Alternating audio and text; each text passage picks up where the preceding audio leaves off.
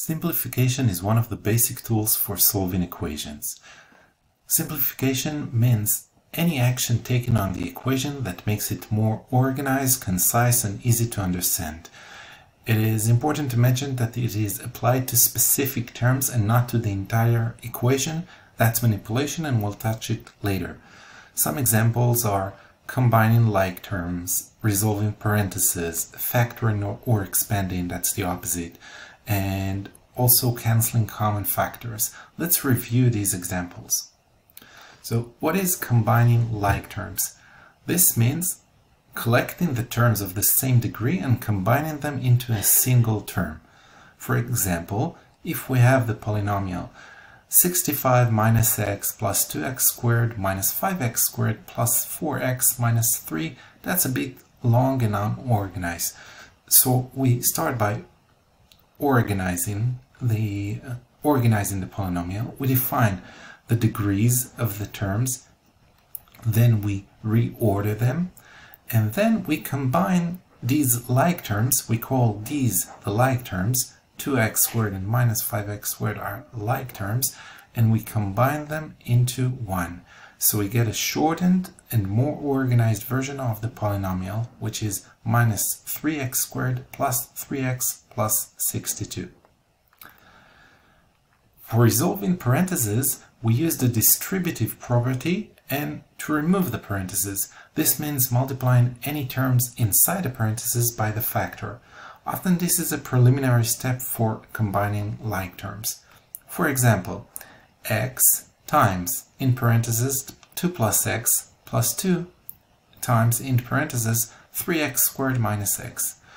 So we multiply x by 2 and x to get and we multiply 2 by 3x squared and x and we get 2x plus x squared plus 6x squared minus 2x. The like terms are already marked in color. This way we can reorganize the polynomial and combine the like terms into a shortened version. In this case we see that x uh, squared plus 6x squared equals 7x squared, but 2x minus 2x equals 0x, which can be ignored.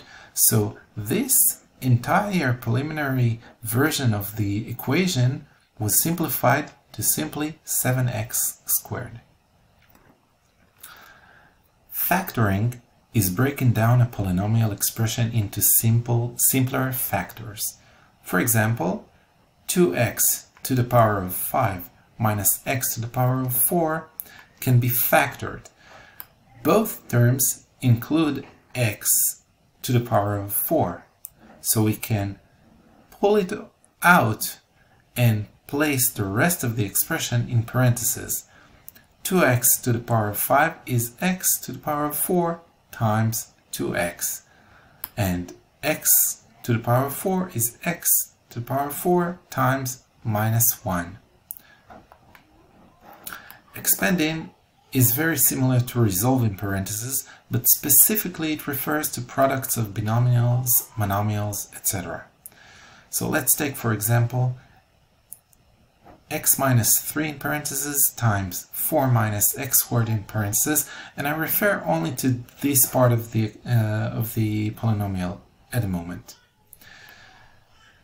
In order to expand it, we need to, to multiply each of the terms by the other terms in the other parentheses. So we need to have x times 4 minus x times x squared minus 3 times 4 minus 3 times minus x squared. And then we get 4x minus x to the power of 3 minus 12 plus 3x to the power of 2 and then the rest plus 6x minus 3. Then we continue to reorganize the polynomial and combine like terms if needed. Last example of simplification is cancelling common factors. This may remove fraction lines or significantly simplify the fraction. Let's look for example at this rather complicated fraction. 12 pi times in parentheses x squared plus 8x divided by 4x pi.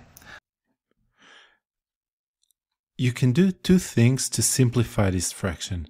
First, 12 pi can be written as 3 times 4 pi, and x can be factored out of the parentheses.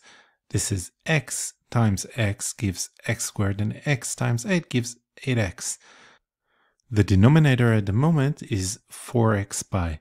So we have 4x pi above and 4x pi below, and these can be cancelled and removed from the fraction. So we cancel the fraction line and are left with 3 times x plus 8, which is simply 3x plus 24. You would agree with me that that's a much simpler version than this version that we see at the beginning. This summarizes canceling common factors and simplification. We'll deal with manipulation shortly.